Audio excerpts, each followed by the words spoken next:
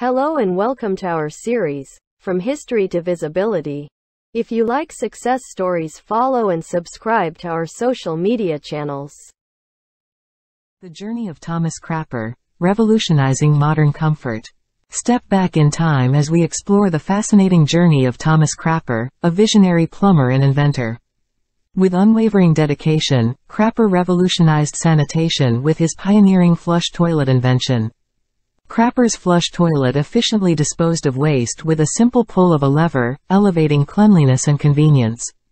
As news of his remarkable invention spread, demand for Crapper's flush toilets soared, making it a symbol of modernity and progress.